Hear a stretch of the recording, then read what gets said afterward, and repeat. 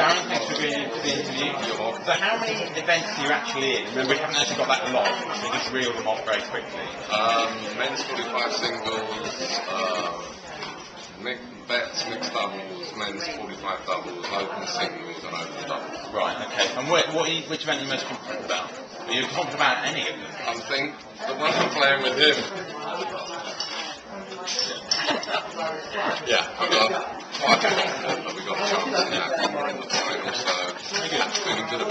It's, it's quite interesting seeing you at the bar so early on in the tournament. I mean, is that really the sort of preparation somebody like yourself should be doing? at this stage? Well, I've got a problem with my ankle, and my physio actually told me that hops helps the healing process. So I decided to come to the bar and have a few beers Very good, very out my ankle. So- So just.